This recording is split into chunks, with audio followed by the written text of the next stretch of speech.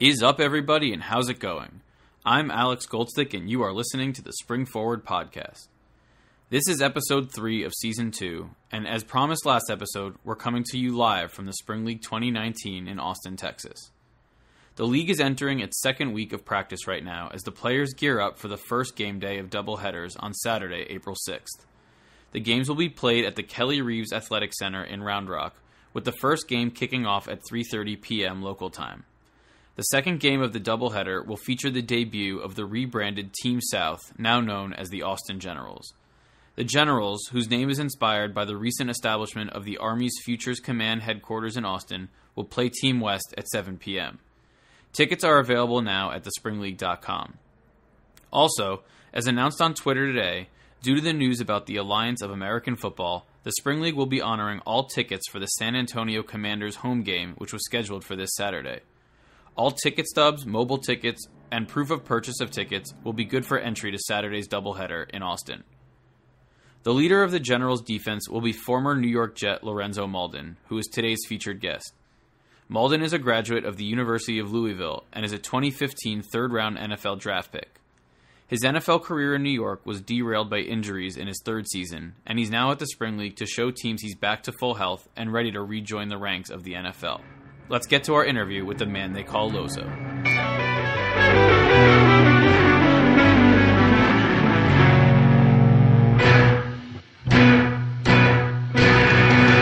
Lorenzo Mauldin is an outside linebacker from Atlanta who played his college ball at Louisville. He was a third round selection of the New York Jets in 2015 and spent three seasons with the team. He's got six and a half NFL sacks to his name and is now competing at the Spring League in Austin to reclaim his NFL dream. Lozo, welcome to the pod. Thank you, Alex. Thanks for having me. Now, this is our first interview live from Austin, so before we get into your football history, I think it's appropriate to focus on the present. Uh, I don't know if you ever got to feel like a vet during your three seasons with the Jets, but you're probably the highest profile player with the longest tenured NFL career at the Spring League right now. So, how have you found your time at the Spring League so far, just about five days into your two week experience? Um, I feel like there's a lot of great talent around. I feel like I'm getting a lot of good work when it comes to uh, my position.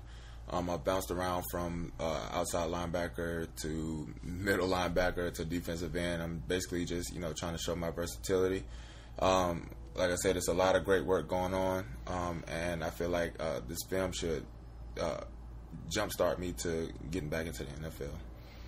How did you find out about the Spring League and ultimately get accepted uh, and commit to play in Austin this year? Um, I actually have a uh, high school teammate that I played with in uh, in Georgia, uh, Marion Rains. He, uh, I seen him, you know, practicing and, and, and seen pictures on Instagram, and um, I start. He started to ask me, uh, you know, why wasn't I doing the spring league or why wasn't I doing the other leagues or anything? I was just basically saying that I was, you know, uh, injured, and a lot of people don't want to. In, in, like invest in me right now, so he's like basically, you know, I just do what I do what he did and you know get involved with the spring league. I got into uh, looking at uh, the spring league on the website and seeing some good numbers. So I kind of you know got invested into it myself and thought it was a good opportunity. So before you found out about the league, what were you doing as far as training or uh, you know trying to get scouts or GMs to notice you uh, while you were out of the league? Um, I was I had a couple of visits with uh, uh, NFL teams. Um, again, I don't know if the NFL teams were pretty much on me uh, because of my uh, my surgery that I had in 2017. Um, these guys were uh, inviting me out and um, you know kind of turning me the other way. Um, I'm thinking possibly because I haven't played in a while. Um, but when I uh, got into training and everything, I went with Elite uh, Performance Training in New Jersey. Um, those guys, I had a uh, a personal trainer, and he pretty much got me to where I needed to be and that's all I really did over the past few times of the through the times that I was you know out. Nah, I know I say it like a New Yorker, so apologies, but Louisville is well represented in Austin uh, as the school with the most players in attendance. Uh, there's three U of L players on your Austin General squad, and apologies for pronunciations in advance, but Pio Vatuvei, Drew Bailey, and yourself. And then offensive lineman Mohamed Kurum and DB Devontre Parnell are on Team West. Um, so did you know that any of these guys would be here? No, I did not actually. So when I saw all of the guys, um, I saw them one at a time. Actually, I didn't see them all in bunches, but saw him one at a time, and it was like a oh, it was a reaction that you know it's like dang, I haven't seen you in a while type reaction, and um, I got a chance to play with two other guys, uh, Po and Trey.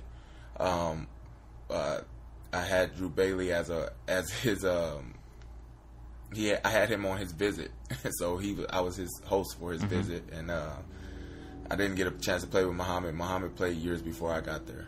So now let's go back to the beginning of your football story, uh, or even your story in general. You know, it's well reported that you had a bit of a disjointed childhood, uh, beginning in Sacramento, California, and leading you to finish high school in Atlanta. Um, you spent time in 16 foster homes between birth and high school. And I know there's no amount of time that can do justice to what you went through growing up, but can you fill in the information between those two points for us uh, with what you're comfortable sharing about the struggles you and your siblings went through? Um, so it's five of us. Um, we were all pretty much raised by a single mother. Um, my mother uh, did illegal things such as selling drugs and everything, and uh, just for us to get by. Um, we just we just did what we could to get by as as siblings, and then you know the times where uh, she would get locked up, she got locked up multiple times. We were in and out of foster care um, since I was two. Um, I moved in with my grandmother when I was two, and then she couldn't take care of us all, so she, uh, you know, we were all put back into foster care. Um, after we got back with my mom, but again, she constantly went back and forth. So uh, they just kept her for a while, and um, they just we bounced around. Some homes didn't work, some homes did, but sometimes uh, we wouldn't like the homes as ourselves as as the children. Um, and I bounced around so many times, different schools, and it was a it was a hard time. But at the end of the day, that's all we had really, pretty much, was to you know have these random people bring us in their house and try to take care of us as best they could. Uh, we all grew up so hard it was kind of hard to take care of us because we figured that they weren't our real parents. So it um it had no constitution to our family. So um, I, I, don't think necessarily 16. I mean, I, that probably got lost around in there somewhere. It was probably about like 12. 12 or 13, but that's still a lot of homes. But that's YouTube research's fault. Yeah, yeah, that's that. That's uh, it got lost in the in the sauce somewhere. Uh, but did definitely did bounce around a lot of different homes and schools, and it kind of took a toll on me. Um, I was I was a um, a street runner pretty much. When I say street runner, I stayed in the streets. I was doing the stealing and all that other stuff, and it was kind of like a, a, a, definition of me. But then I've gotten the right people to, you know, sway me the opposite way, and uh, football became my uh, my savior, and. Um, got into God a lot, and it um, it definitely changed my outlook on life. And I definitely decided to, you know, just take take the uh, the high road. Were the five of you always together throughout this whole journey? Not at all. Not at all. Um, they split. They split all three of my sisters up. Um, I have an older sister. I'm the second oldest out of five, um, and I have a younger brother and two other younger sisters. They put the two youngest sisters together. They split. They took my older sister and put her somewhere, and it was me and my brother for a while. And then, of course, what brothers do, we fight. So they most families couldn't take that, and they split us up. Now, at what point do you get to Atlanta? Is Atlanta where you consider home at this point? Um, yeah and no, because um, I'm originally from Sacramento, California. Um, Atlanta, I, I, moved down there. Uh, like I said, I was back and forth um, from um, from California to Atlanta. Um, to the to my to the best of my knowledge, um, we um, I really got well acquainted in Atlanta when I was uh, in high school. When I figured out, you know, that you know I um, wanted to play football. I didn't I didn't play football my ninth grade year because I ended up missing that year, and I didn't start playing football until I was in the tenth grade. Um, I played a little Pop Warner with one of the foster parents, Monique Gooden. She uh, she introduced me at, believe it or not, I was a wide receiver. So, um, yeah, and that was and that was my main thing basically just believing that these these people that we don't know will steer us in the right track. So I lived in Atlanta, lived in Sacramento. So, so how do you find football? Is it that foster parent that originally introduces you to Pop Warner? Is it a high school coach that, that recruits you because of your size? Maybe. I mean, you're obviously a, a linebacker now. You're a big dude. Yeah. Um, so like I said, I was a street runner, so I didn't really like football. Like I didn't think that football. Even when she introduced me to it, I kind of still didn't like it. Um, me being a receiver, we used to call that the okey doke position because they always had us running routes across the middle and linebackers, you know, deplete us. And I never liked the one getting hit. So uh, I would figure myself running around and hit people just because, you know. And uh, I just thought that, all right, I think I need to play defense. And um, she definitely, again, introduced me to that. Um, I ended up moving to defensive end and, uh, and linebacker, and um, I liked it a lot. At what point do you realize that football is something you have a gift for and have the potential to continue your education, continue playing after high school, maybe not make a living at it yet, but to take you somewhere? Um, so I played for um, the school changed names uh, since I've been there, but it was Southside High School in Georgia, in Atlanta, Georgia. And uh, my tenth grade year, my coach put me at defensive end and I kind of and I kind of took off a little bit in it. I was the most aggressive one on on my defense, and um, Maurice Hart was my defensive line coach, and he pretty much took me in, and he started getting into my ear, telling me, "You can go somewhere with this. You just gotta stay out of the streets, this, this, and that," and basically being my my guardian angel. And he told me that um, you can really go to college, you can go to the pros if you really invest in this in this game and you know, once once he told me that, it took me about a week and a half to like really like get that down packed. Like to, and then season came and I just took off and junior year came, senior year came, the colleges started coming, and, and that's when it hit me. So good segue. Why Louisville? So the story is, um, I originally was supposed I was committed. The very first school that came to me um, was South Carolina Gamecocks, and um, I committed instantly right there and then because I just, you know, I didn't know what to do. Like it was so many teams that were coming at me, so I just like, you know what, I'm just gonna go with South Carolina. Went with them, and uh, they ended up reneging right before uh, signing day. Reneged on the scholarship, and um, I was left. I was left out to dry. They ended up giving a scholarship to uh, Jadeveon Clowney at the time, and um, I was left out to dry. And um, literally, like the next two days after that, I ended up taking a trip to Troy University. Troy uh, showed me mad love, and I was about to do it. And then, literally on my way back from uh, was I think it was before I went to Troy. I was on my way to Troy, and Charlie Strong called me on the phone, like literally him himself, head coach. Yeah, head coach of Louisville. Hey, Mauldin, what are you doing? Uh, I said I'm uh, I'm headed down to Troy. He's like, oh, what you going down there for? And I'm like, uh, I'm going on a visit. I'm like, and I'm trying to figure out who this is. He's like, hey, this Charlie Strong from the University of Louisville. And I looked at, and I, I forgot who I went down there with, and I looked at whoever I was driving with. Uh, it was my, my head coach, uh, Eric Williams. And uh, I looked at him. I was like, oh, this is this is Louisville calling me. He's like, Louisville? And we driving, and He's like, yo, so when you're done with that, come on down, come on down to Louisville. I was like, oh, we need to turn around. we need to turn around because uh, you know I think the Troy is a D1 double A.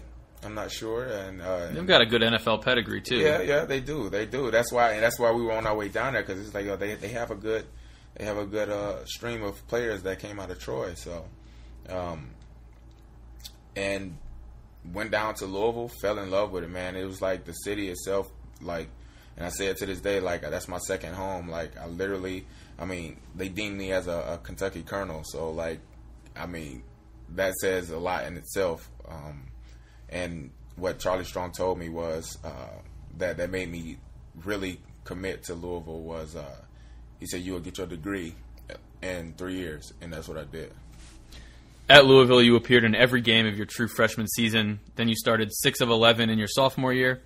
Um, what were those first two years of college like for you? Not only as a student athlete, but maybe as someone also seeking the stability of the home and family that a college campus and especially a football team provides. The first two years, um, my first year actually, um, I was like a kid in a candy store. Like I literally was able, a kid coming from foster care, being told what to do left and right, and you know what to wear or you know uh, what to eat. I'm by myself now I'm uh, pretty much making my own decisions, and I felt I felt free. Like I literally got into so much trouble, good trouble, mean meaning like I was doing whatever I wanted to do. College stuff. Yeah, college stuff. and uh, it felt good, man. And then you know, after a while, it, it, it, put a tax on my body, and I'm just like, man, I, maybe I need to slow down and and and get in and, and really get into why I'm really here. You know, to get my degree and to, to make it to the NFL. So I slowed down a little bit my sophomore year, and uh, the guys, the guys that um, that were graduating from the first year, I moved up the depth chart. So, and then after a while, I just started again, like I felt like in high school. I just started going off, and the coaches saw that, and and those those six games that I started, that was the, the towards the end of the season, and, and from there it was history. Now, before your last year, you switched from defensive end to linebacker, um, which is where you're playing now. Although you're doing a, a, mix of a little bit of everything at the spring league. Uh, what went into that decision to make that move? So, um, for the three years I was playing with Charlie Strong, um, Charlie Strong ended up leaving for. Um, we were we were a four three defense, and um, Charlie Strong ended up leaving uh, to go to Texas, and we ended up bringing in. Um, Todd Grantham. Todd Grantham was the defense coordinator. He brought in the three four, and we switched up and we switched over to from defensive ends to outside linebacker. So all of our DNs pretty much went to outside linebacker, and they were they embedded in my head already in the league. You're not going to play defensive end because of your size or whatever. And I was like, maybe I gained a little weight. Maybe it's like, no, you should play. But then I started getting into the outside linebacker, and I'm thinking like, oh, this is easier because I can see the formations of offenses. I can see what they're about to do before they do it. Uh, I can get into uh, my pass rush easier because I'm standing up and I can see what the tackle is doing before. You know, I can I can read a lot of different things. So I've seen you at practice, you know, carving up O linemen from a three point stance. Um, outside linebackers are obviously standing most of the time. Do you feel more comfortable starting in a in a two or a three point stance? I feel more comfortable in a three point. I mean, because it's basically what I've been doing my entire life. Um, I believe that's why I got drafted because I was rushing from a three point. Um, uh, I say I say that because the only thing about the two point stance again is it's easier to read things. It's easier to know what the play is about to be. You know, when you study film and everything, it's easier to uh, recognize the the offense's scheme and be able to make a play whenever it needs to be made. Or, um, but defense, I feel like I have uh, when I'm on a three point stance. I feel like I have more more power. I feel like I have more speed. Um, you know, when you're in, when you're in track, you get down in a three point stance or you get down or whatever, and you take off like that. That's how they get their speed. So I feel like that's how I am, and if I'm at the certain, if I'm at the right weight, I mean, I feel like I can be unstoppable when it comes to speed. So, do you identify with one position or the other right now, or it's sort of whatever whatever makes your prospects the best at this point? yeah, whatever makes my prospect the best. Like, because at the end of the day, I can play both positions. It's just you know what scheme I'm I'm I'm in. Like, uh, either I'm in a three four and I'm a, I'm a true outside linebacker, or if I'm in a four three and I'm a true defensive end. It depends on the scheme. And like right now, um, with the spring league, we're running a four three defense, so I feel like i am more effective at four at at a uh, defensive end uh, position than playing Sam and not coming at all, not rushing at all, but only dropping. You're one of the few, if not the only guy here that was selected in, in the draft. Um, so in 2015, the New York Jets took you in the third round. It's the 82nd overall pick, uh, which was the first year of the Todd Bowles era in New York. What's that moment like for you? I mean, how does that compare to maybe the Louisville offer, or is that totally different? Um, I probably would say that's like my second best thing that's ever happened to me in, in my in my entire life. My first was uh, actually graduating college. I was the first in my family to graduate college. In three years? You did it in three? Yeah, I like, did it in three like Charlie years. said. I graduated in three years um, with a communications degree. Getting drafted, man, like I didn't think I would cry, but I, I shed a lot of tears. I was on the phone with Charlie Strong. I mean, not Charlie Strong, but uh, uh, Todd, and I was on the phone with. I got on the phone with Mike Maccagnan, and I got on the phone with Todd, and uh, we all we all heard on the on the on the TV screen, me crying and everything on the phone, and telling him I would give him everything I got, you know. So that that feeling was I was with friends, I was with family. We all watched it on the TV when they called my name, and uh, when I got that call, man, I was I was like nervous eating. I was like I was stuffing my face with wings and chips and salsa, and then uh, my best friend Allison uh, she's sitting next to me. One of my best friends. I, I call her my sister. Um, she's sitting next to me, and she's like, "Your phone's ringing," and I'm, I'm not even paying attention. I'm paying attention to the to the TV, and I'm eating. I'm eating, and then she's like, "Your phone ringing. It's from it's from uh, New Jersey," and I'm just like, "New Jersey? What team is in New Jersey?" And I'm like, "That's that's just probably like somebody trying to mess with me." But I'm thinking New York Jets. They're in New York, but now they everybody knows they play in New Jersey. But I answer the phone, fingers full of sauce and everything. I didn't care, um, and it's Todd, and it's and it's uh, Mike Maccagnan on the phone, and I'm just like, all right, this is it, and I and I almost fainted, literally, and everybody caught me, and it, it, it got real. They brought me a chair and started talking, and they asked me what jersey I wanted and everything, and it was just so much going on, man. It's it felt good. It felt real good. I finally, and I, in my head, I was like, I made it. Your three season with three seasons with the Jets are are marked by early on field success and unfortunately injuries that ultimately ended your time there. Um, in literally your first NFL game, you had a strip sack of Johnny Manziel when he was with the Browns, uh, but then were subsequently carted off the field on that same play with a really scary looking injury. Um, which is silly to say, but was just a concussion. Mm-hmm. Um, in the end, though, even after a scary injury, you played 15 games in your rookie year, which included four sacks. So, give us a sense of your first NFL impressions during your rookie year in New York or New Jersey, right? yeah, yeah. um, so that first game, I man, I had so much going on, man. Against the Browns, it was like I had, I get, I get uh, migraines. They're hereditary. Uh, my mother, my mother caught them all the time, and I always caught them, but I never knew that they were migraines. I thought they were just random headaches. And uh, I had a migraine so bad that game, and uh, the, all the bright lights they were like they were they were dogging my eyes. Like I was, you know, I felt sick and everything. And as soon as I heard them call my name, I was a third round pass rusher. I mean, third down pass pass rusher, and uh, they called my name, and my eyes got big and I was already having a migraine, so I go out go out there and I'm rushing. And next thing I know, uh, Johnny Manziel's running down the field, and, and, I'm in my pursuit angle, and I go in to tackle him. That's the last thing I remember. And next thing I know, the next day I'm in the hospital. I didn't wake up till the next day. Your second season with the Jets is to date your last in the NFL, but certainly not your last. You spent your third season on IR with a back injury and were released right before what would have been your fourth season. Um, so, how do you sum up with your, your time with the Jets and, and your NFL experience so far in your young career? I feel like I was off to a great start. Um, I definitely knew that I was going to get better and better each day, um, each year, and um, I knew that I had a chance to be a, uh, eventually a starter for the Jets. Um, that was that was my goal going into year three. Um, I had a I had a, injury my my second year, uh, ankle injury to where I couldn't uh, finish the last five games, and I ended up going into my third year healthy and everything. And then, of course, my third year, um, I, I felt like yo, I'm I'm ready. I'm like I'm doing my thing and and and uh, in OTAs, training camp, and everything, and I'm hearing the the the potential. Oh, he he's you know he's the number one guy on our on our outside linebacker list, and we go in, we get Kevin Greene.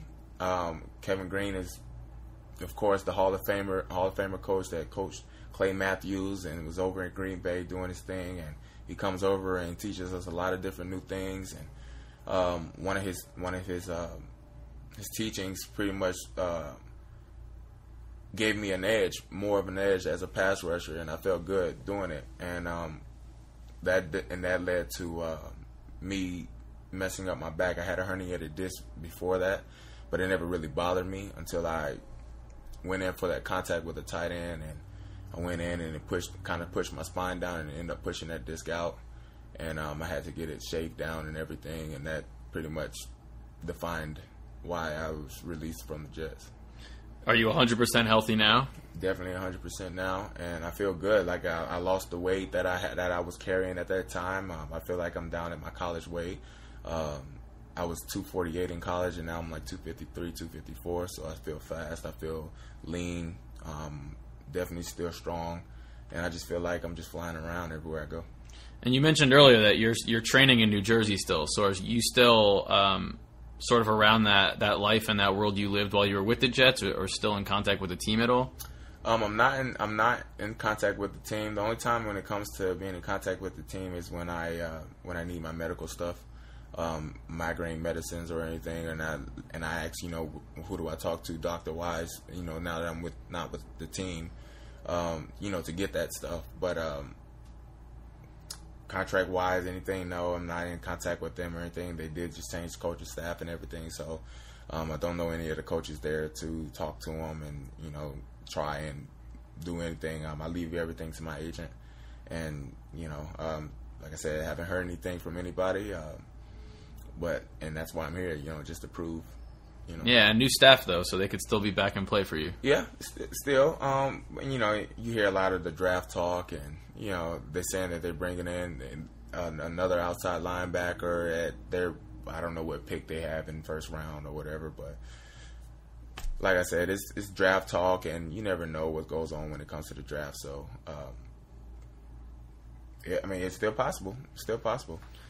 So to elaborate on something else you said earlier, um, you tweeted in March. Uh, I understand as fans, you guys only look for sacks from an outside linebacker, but it's more to the game of football: coverage responsibility, QB disruption, setting edges in the run game, formation recognition, etc. Uh, so, what are some of the things that don't show up on a stat sheet that you want people to know you excel at as an edge rusher? Um, you know, getting getting like I, like I said, QB disruption. Like um, my my year, my what second, third year, I can't remember.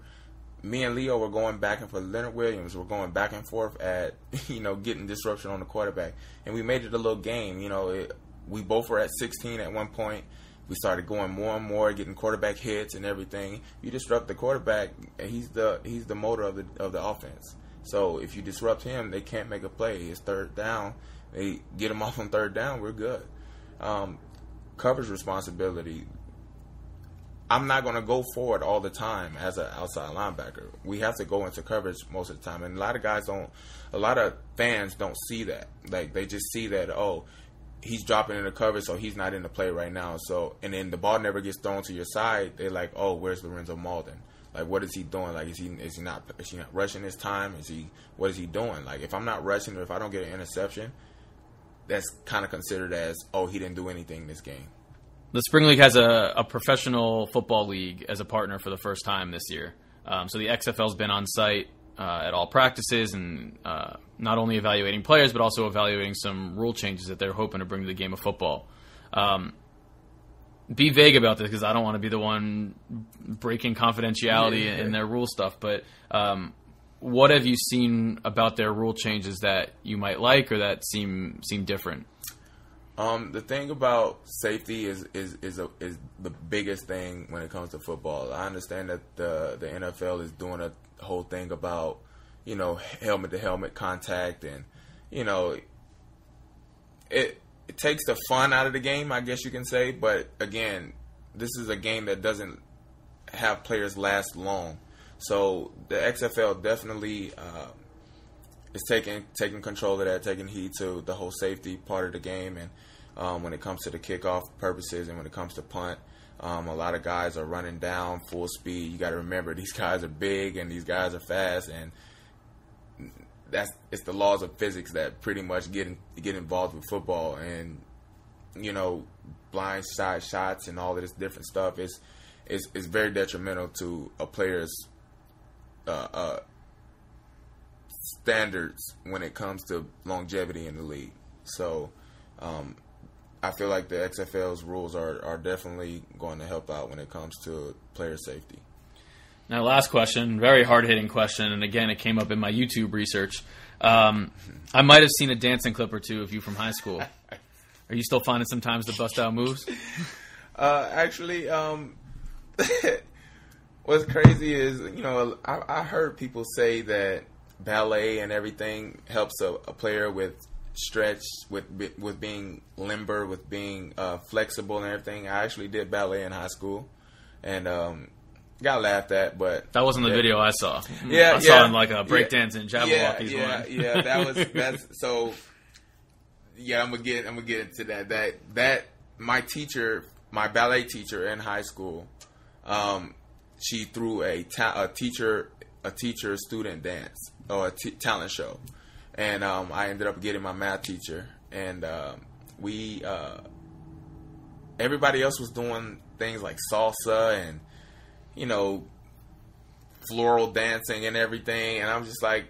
I'm a hip hop dancer. Like that's what I do. Like I dance. I, I hip hop dance. Like I love just looking at it, and I love like trying to do everything that I saw. So um, I told her I was like, "You're gonna have to young up a little bit for me to to get this." And we ended up winning this, the talent show. So it was it was fun. I like, and I still do a little something, something. I pop and lock here and there, but nothing too crazy. I'm like Maybe if you I, run one back. Yeah, if I if, yeah if I definitely get an interception and get a pick six, I, I'd probably do a little a little something something. But So the lady in that dance video was your math teacher. yeah, she was my math teacher. Yes. All right, good to know. Well, ending ending on a hard hitting note.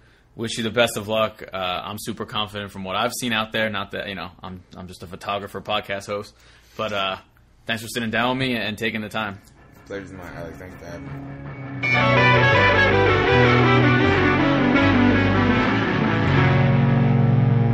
All right, that will bring us to the end of our interview with Lorenzo Mauldin.